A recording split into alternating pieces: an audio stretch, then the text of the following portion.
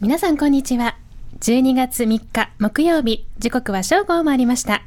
FM うるま情報局のお時間です。この番組は毎週月曜日から金曜日お昼12時から12時55分まで FM うるま周波数 FM86.8MHz にてうるま市石川赤崎スタジオから生放送でお届けいたします。本日の担当は局長の伊波香織です。この番組は皆さんの地域にある身近な情報を発信する地域密着型ラジオ番組です。うるま市内はもちろん近町、宜野座村、恩納村などを中心に幅広い情報やお天気、消防、警察、うるま市役所のコーナーなどお届けいたします。番組では皆様からのメッセージもお待ちしております。メールアドレスは868アットマーク fm- うるま .com ファクシミリは098-965-4868懸命に FM うるま情報局と書いてお送りください。また、インターネットにて FM うるまのスタッフブログも更新中です。動画も配信しておりますので、ぜひご覧ください。それでは FM うるま情報局スタートです。毎週木曜日はこのコーナー。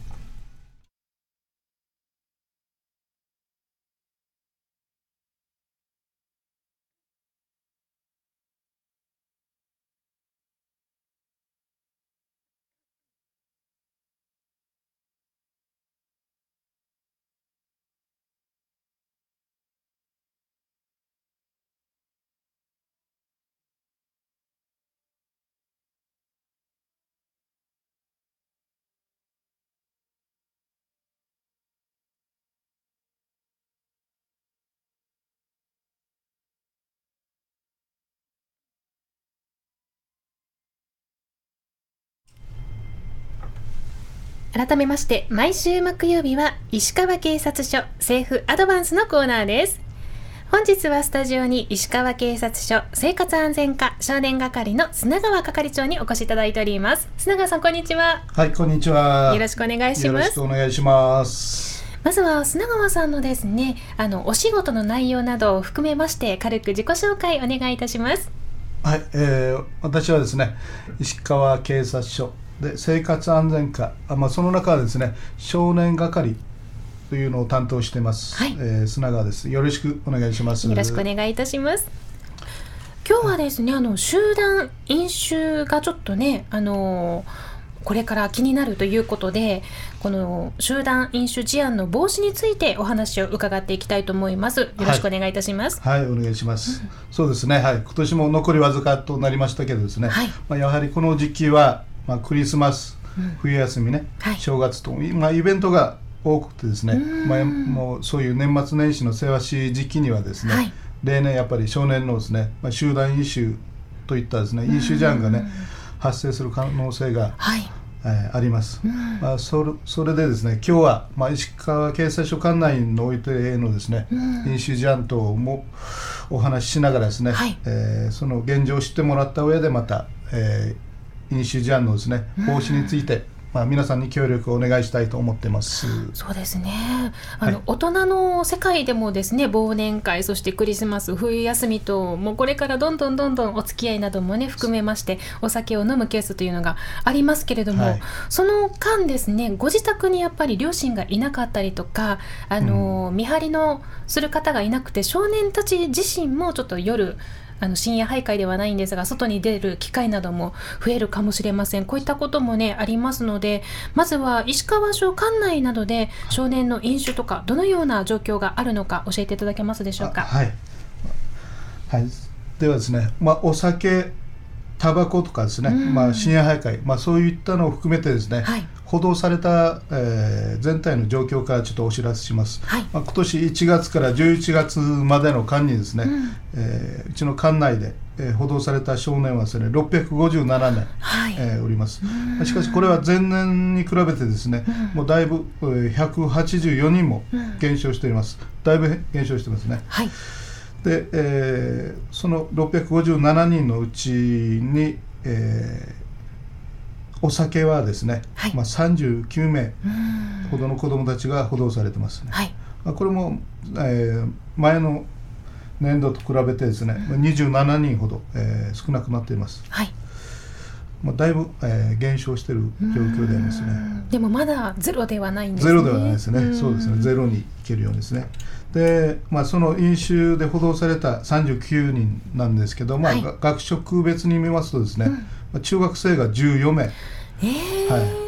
高校生が11人ですね、はい。で有職無職の少年が12名と、うん。中学生がちょっと多い状況ですね。はい。これちょっとびっくりですね。そうですね。中学生もまあお酒を飲んで、まあ、ですがですね中学生、高校生、有職少年ともやはり減少、えーせ前年に比べてはですね減少してますね。またあの、えー警察では3人以上で飲酒しているもう集団飲酒として挙げているんですけど、はい。えーその集団飲酒もですね去年と比べて6件も減少してですね、えー現在は2件なってます。でその集団飲酒に絡む事案でもやっぱり中学生が1件は関わっている状況です。へえこれやっぱりあのまあお兄さんお姉さんの影響だったりとかちょっと先輩から声かけられて断れなくてっていうのもあるかもしれませんけどそういったお酒ですとかタバコとか深夜徘徊っていうものに行ってるとですねいろんな事件事故に巻き込まれるのではないかなと思うんですがね。この飲酒に絡んでこれまで何か事件などは発生しているんでしょうか？はい、あこれまでですね、ちょっとこれまでのまあ事例とかお話ししますが、はい。これまで過去にはですね、県内では、まあえー集団飲酒中にですね、はい。まあ、子供がまあアパートの5階から転落した事案とかですね、はい。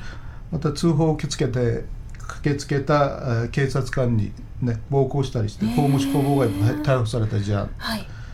あとはまあ高校生がクラス会のイベントとしてうちイベントの打ち上げですね。はい。で飲食店を貸し切ってうん。多数集団で飲酒で報道された事案も県内では発生してますねこれまで。はい、でうちの石川警察署管内なんですけど、はい。まあ、うちの管内でもこれまではですね、えー起こった事例なんですけど、えー深夜に、まあ、もう子どもたちがですね飲食店街の飲み屋でですねに友達同士で、まあ、飲酒した事案も発生してますね。はい。そこの、えー白浜の飲み屋街ですねその中でうんえ店の人はやっぱりもう未成年とは分かるんですけどどうしても売り上げ、はい。まあ、そのためお酒を提供したということですね、へー。はい、もちろんもうその店はですね、うん。まあ、未成年者飲酒禁止法違反で、まあ、検挙されていますね。はい。でまたあの中学生がですね中学生女の子なんですけど、まあうん、石川ビーチ沿いの墓地でですね、はい。大量に飲酒しても断ち切れなくなっと、ううん。んベロンベロン状態ですね、はい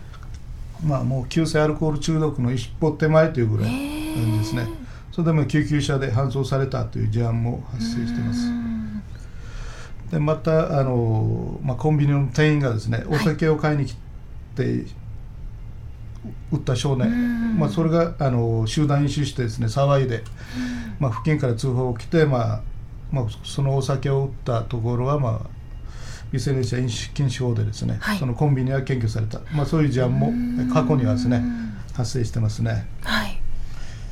で一応今年もですね、まあ、今年の事例なんですけどまた同じように中学生が墓地で飲酒してですね、まあ、1, 1名がそのうちの1名がだいぶ気分悪くなって、まあはい。まあ、やはりさっき言ったアルコール中毒の一歩手前ですね、はい。まあ、そんな感じで救急車で搬送された事案とかですね、白浜の飲み屋街の中でですね飲食店でまた、えー集団飲酒した事案とか発生しています。はい。え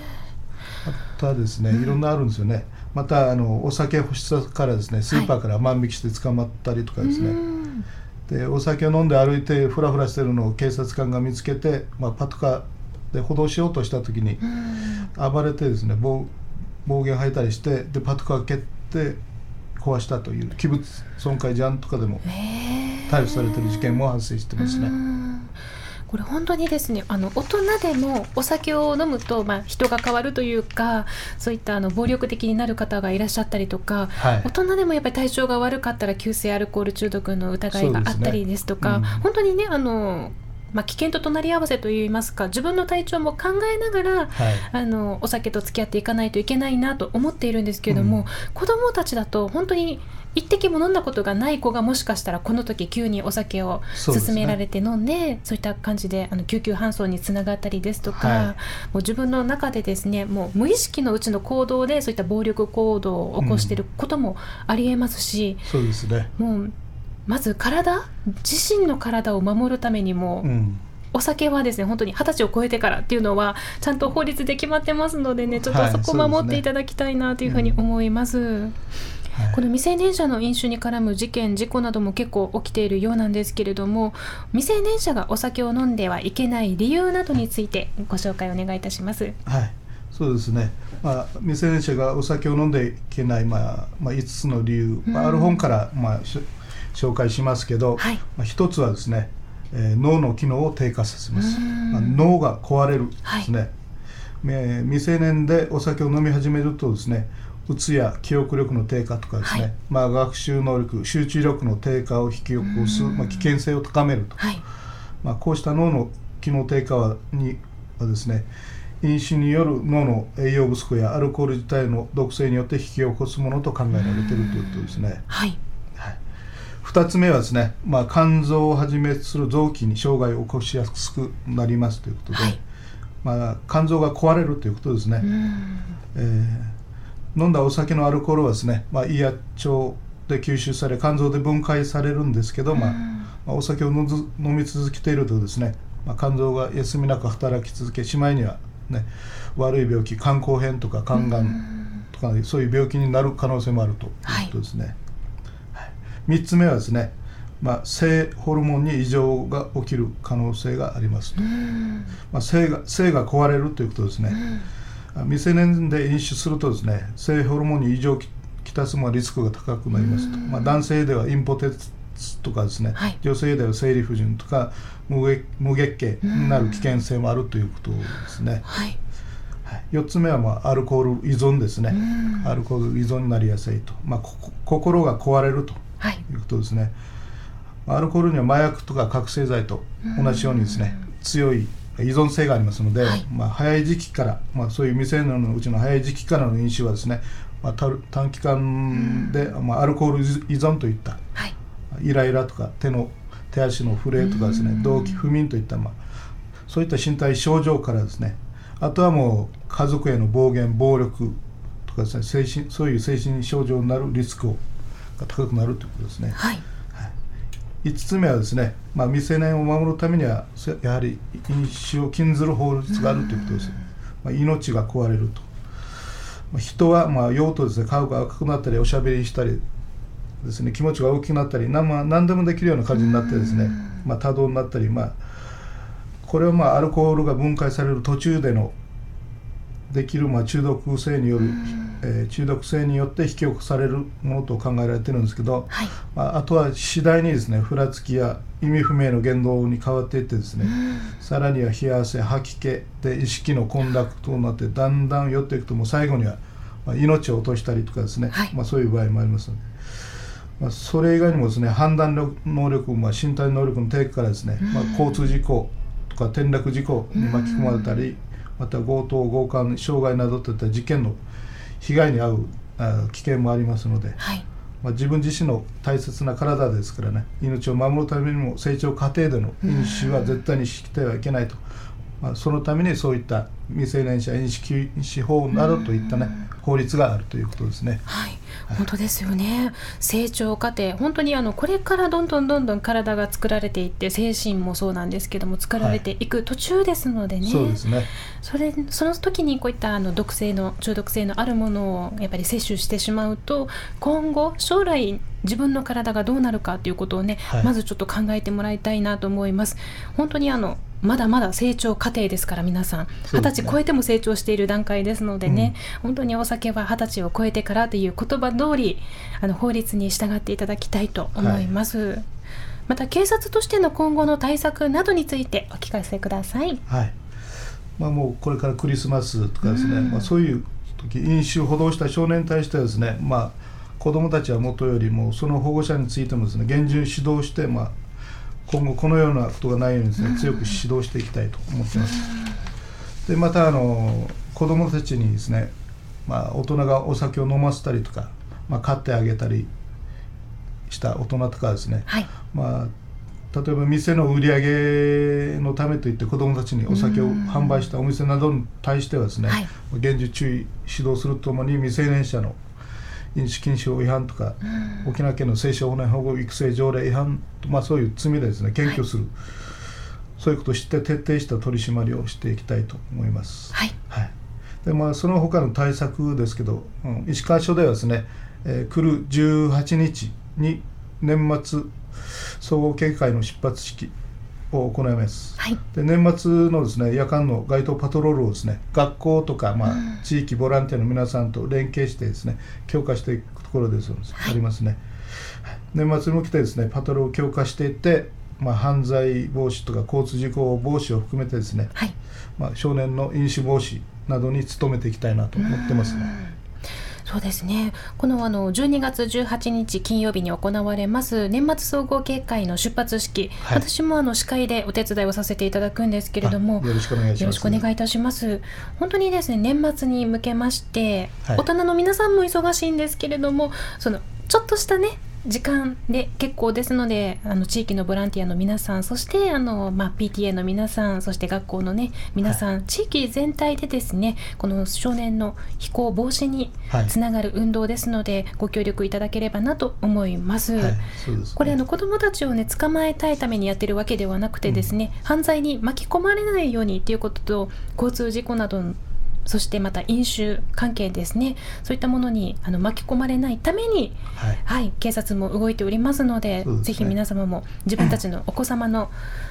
方もね見ていただきながら、はいでなんか子どもたちが夜出そうになったら注意をしていただくとかそういった声かけだけでもいいですからね、はい、はいそうですね。よろしくお願いしたいと思はいます。したいと思います。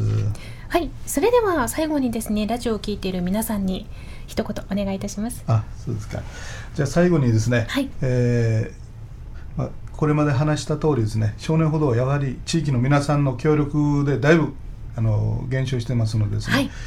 えーこういういい環境づくりをまた協力お願いしたいと思います。で、えーまず第一にですね、まあ、子どもたちがお酒が手に入らないような状況を作らない、まあ、そういった環境づくりもですね、特に家庭にあってはですね、えー持ちだお酒を持ち出せないような措置を取ったりとかですね、まあ、またお酒の販売店にあっては年齢確認などを徹底してもらって、はい、まあ子どもたちには絶対酒を売らないということを守ってもらいたいと思います。でまたあの家庭においてですが、まあ、日頃からですね飲酒喫煙の指導とかですね、まあ、子どもの在宅確認とか外出の際の、まあ、帰宅時間の取り決めとかですね、まあ、安易に外泊を許さないことも必要だと思ってますので、はい、はい、またクリスマス正月だからといってですね親がお酒を飲んでこういいやんべしたからといってお前も飲めという感じでね 子供にまたお酒を勧めたり、はい。まあ、そういう、えーね軽い気持ちで絶対にですね子供たちにお酒を飲まさないようにはい。お願いしたいと思います。で最後になりましたけどですね、はい。まあ、地域の皆さんが、まあ、青少年健在育成にですね、まあ、関心持ってもらって、はい。まあ、夜中で歩いてる子どもたちにはですね「えーはい帰ろうね」とか言って、まあ、声かけをしてもらってですね、はい、えー公園とか、まあ、そういうところで飲酒喫煙してたもたむろしてる子どもたちを見てですねちょっと声かけが難しいなと思ったらですね、はい。まあ、すぐまた警察署に通報していただきたいと思います。はい、まあ、そんなことをすることによってですね、まあ、子どもたちがもうそういう悪い道に入れない走らないそういう環境づくりがですね、えーできると思ってます。はい。特に石川の管内はそういう地域ボランティアの方がすごいで、うん。まあ、そのおかげで減少していると思いますので、はい。今後とも協力よろしくお願いしたいと思います。はい、あの子どもたちも結構あの寂しい子が多くてですねあの親御さんたちからあの見てもらってないんじゃないか気にかけてもらってないんじゃないかなっていうことでその寂しさを紛らわせるためにお友達とはい。会ったり、あの先輩と会ったりとかしている子もいるそうです。なのであの地域の皆さんがね「どうしたの？もう時間10時過ぎてるよ」とかね「9時過ぎてるよ」っていう形で声かけをしていただくと、あなんか見てくれてる人いるんだなっていうことで、この子たちもあのきちんとあの生活にいつもの生活に戻ることができると思いますので、はい。これからも地域の皆さんのご協力をいただきながら、はい。はい、私たち警察の方もですね、あの18日には年末総合警戒の出発式なども行いながらですね年末夜間の街頭パトロールなどを行っていきますのでどうぞご協力のほどよろしくお願いいたします、はい、よろしくお願いします。ありがとうございます。今日はですね石川警察署生活安全課少年係の砂川係長にお話を伺いました。どうもありがとうございました。した。それではここで一曲お届けいたします。アンディのナンバーからオリビアを聴きながら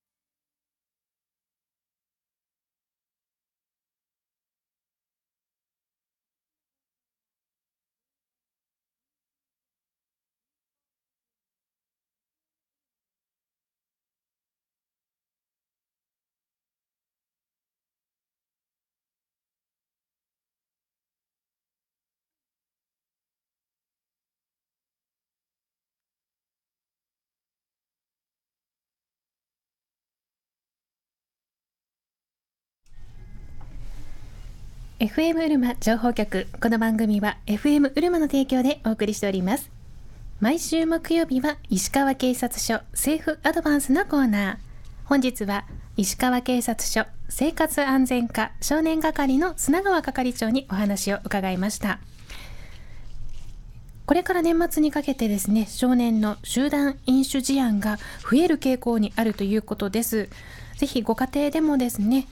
お子様たちの動向を確認していただきながらもし夜出そうになりましたらちょっとお声かけをしていただいてもうちょっとね夜遅いから出ない方がいいよとかねそういった形でお声かけをいただければなと思います。また12月18日金曜日には年末総合結会の出発式が石川署で行われます。私も司会でお手伝いをさせていただきますのでぜひ皆様ご参加いただきまして年末の夜間の街頭パトロールを学校そして地域の皆さんと一緒に強化していきたいと思います。よろしくお願いいたします。砂川係長どうもありがとうございました。それではここからはお天気予報をお伝えいたします。沖縄本島中南部北部本日は北の風やや強く曇り。波の高さは3メートルのち4メートル。降水確率はこの後10%でしょう。日中の最高気温名護は22度那覇は23度の予報が出ております。明日の沖縄本島中南部北部お天気は北の風やや強く明け方まで曇りその後は晴れるでしょう。波の高さは4メートルのち2.5メートルうねりを伴います。降水確率は午前中が10%午後は0%です。明日朝の最低気温名護は17度那覇は18度。日中の最高気温名護は21度。那覇も21度となっております。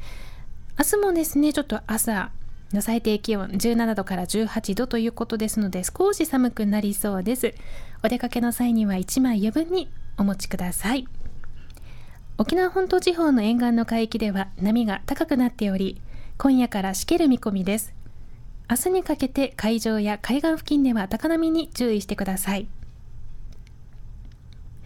宮古島地方では今夜遅くにかけて強風に注意してください。本日は寒気や湿った空気の影響で沖縄地方は曇る見込みで大東島地方では夜は高気圧に覆われて晴れるでしょう。明日は高気圧に覆われて沖縄地方はおおむね晴れるでしょう。与那国島地方では気圧の谷の影響で曇る見込みです。沿岸の海域は先島諸島ではしけており沖縄本島地方と大東島地方では波が高くなっています。海上や海岸付近では高波に注意してください。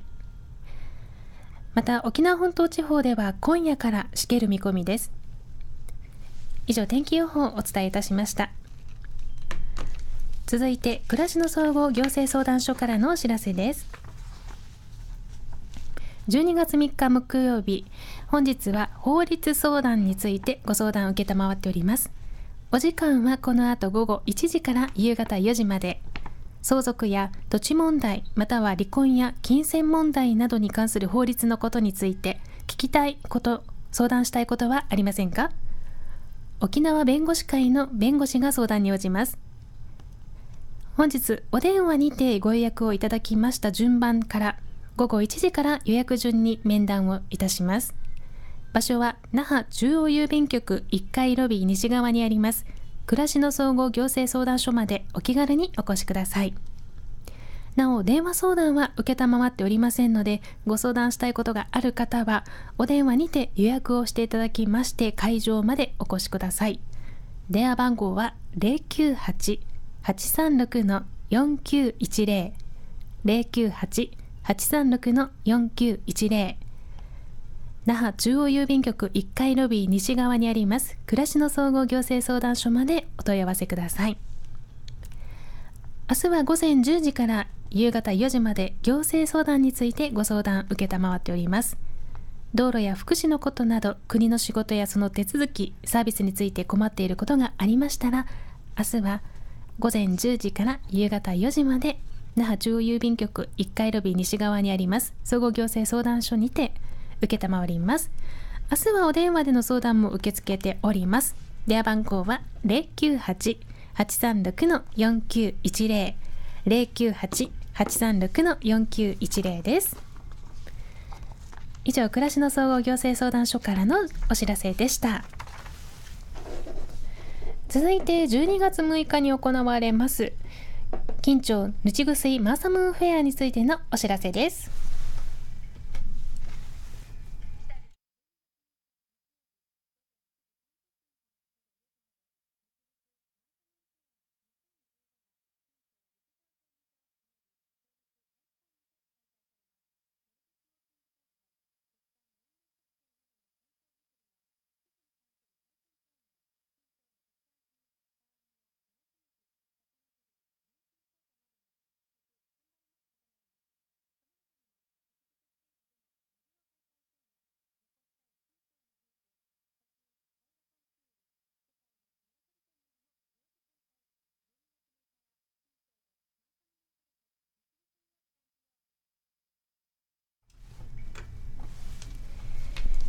はい、12月6日日曜日午前9時30分から夕方4時まで近町陸上競技場そして近町立体育館の方でぬちぐすいマーサムーンフェアが開催されます。こちらは中央公民館祭りと近町産業祭り健康福祉祭りが合同で開催されております。特設ステージでは午前の部午前9時30分からオープニングアトラクション保育園の発表会、そして残したい近所の風景、写真絵画コンクールの表彰式、国保有料世帯の表彰式、8020達成者表彰式、健康づくりの標語ポスターの表彰式などが行われまして、午後の部、お昼12時からマグロの解体ショーが行われます。午後1時からはサークルなどの舞台発表などがございます。またマーサムフェアといたしましては体育館の下になります駐車場の方で試食コーナーや特産品販売コーナー体験コーナーマグロの解体ショー草花の苗野菜の苗などの販売なども行います。世界の鶏店も同時に開催いたします。また体験各種計測などのコーナーがございましてノルディックウォーキング大会午後1時スタート。A コースは9.5キロ B コースは5.5キロというものもございます。こちらはポールの貸し出しが先着80名となっておりまして保険料が100円となります。お問い合わせは保健福祉センターまでお願いいたします。また展示コーナー体育館の中では保健福祉事業の紹介健康づくりの標語ポスターの表彰者などですねといったものの紹介そして中央公民館作品展も開催しております。詳しいお問い合わせは中央公民館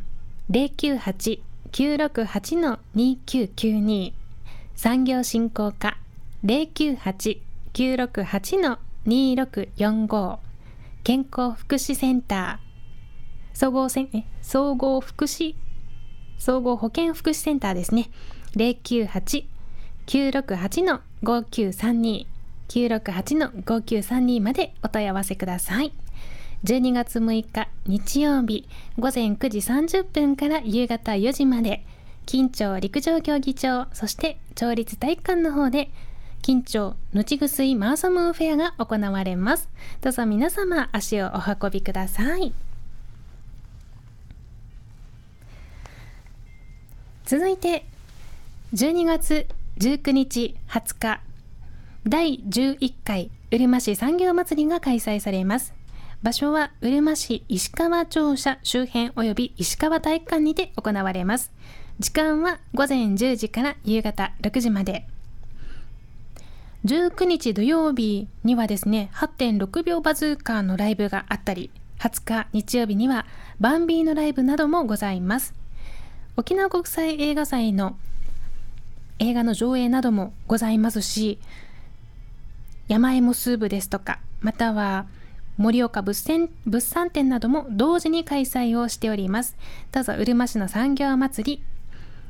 12月19日土曜日20日日曜日こちらの方もスケジュールを開けていただきたいと思います。私もですね両日外ステージの司会でお手伝いをさせていただきますのでどうぞ会場でお会いしたいと思います。また詳しいプログラムなど分かり次第こちのこの番組の方でもご紹介していきたいと思います。続いてビオスの丘年末年始のイベント情報です。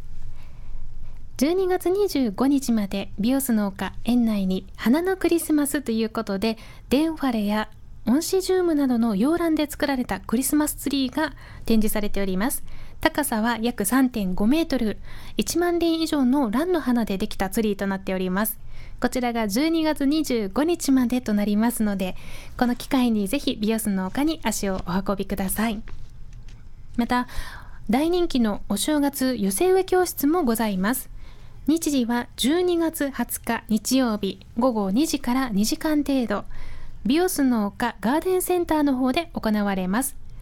定員は20名。予約制となっておりますのでお早めにお電話にてご予約をお願いいたします。洋蘭の鉢物を使って蘭の寄せ植えを作りましてお正月を演出するラッピングなども行います。また使ったランの育て方の講習なども一緒に行ってくださいますのでぜひぜひ皆様ご予約お願いいたします。お正月寄せ植え教室12月20日日曜日午後2時から2時間程度ビオスの丘ガーデンセンターにて行われます。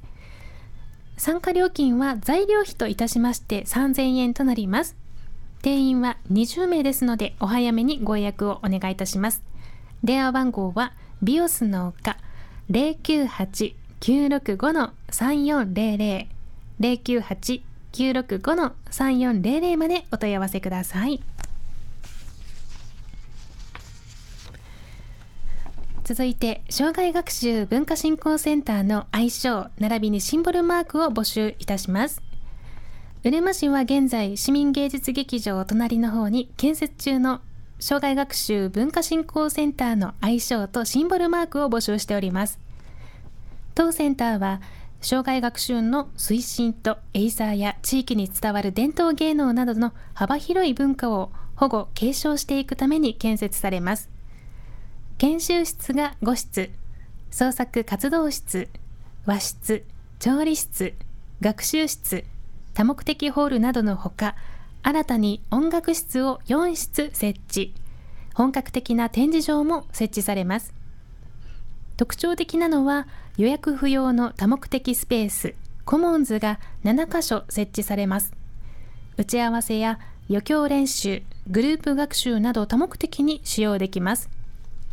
中庭を拠点にエイサーや伝統芸能の練習場所としても活用が可能で地域文化交流推進拠点としての機能も期待されています。応募についてはうるま市の広報などにも書いてありますけれども愛称の方が賞金3万円シンボルマークが賞金5万円となります。愛称の方はうるま市在住そして在勤もしくは在学している方が応募できます。応募用紙に記入して提出してください。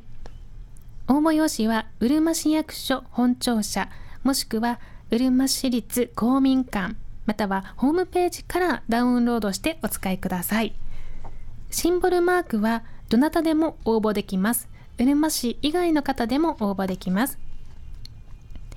A4 サイズの紙にですね住所氏名を記入してシンボルマークを書いていただきまして応募用紙に添えて提出してください。応募用紙はうるま市役所本庁舎うるま市立公民館またはホームページからダウンロードをしてお使いください。募集期間は12月25日まで。郵送の方は当日消印有効となります。詳しいお問い合わせはうるま市教育委員会障害学習振興課公民館係。電話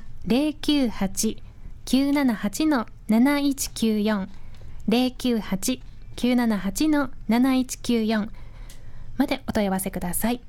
またホームページはうるま市立公民館で検索をしていただきますと出てまいりますのでぜひチェックしてみてください。ホームページはうるま市立公民館と検索してみてください。障害学習文化振興センターの愛称並びにシンボルマークの募集のお知らせでした。